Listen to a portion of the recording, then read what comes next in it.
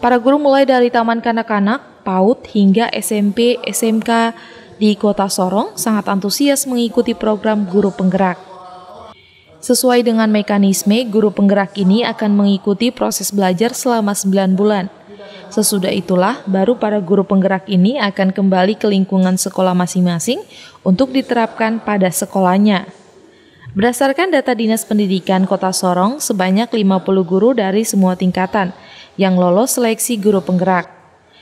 Nantinya, para tenaga pengajar ini akan mengikuti proses sesuai dengan mekanisme yang ada program pemerintah Depdikbud Kementerian Pendidikan dan Kebudayaan itu menyangkut eh, penterjemahan dari Merdeka Belajar yang disampaikan oleh Pak Menteri salah satunya adalah guru penggerak. Nah, hari ini kita sosialisasikan tentang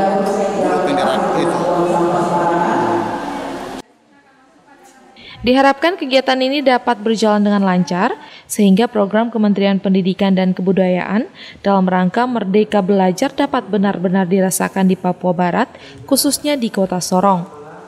Oto Antohi, Kompas TV, Sorong, Papua Barat.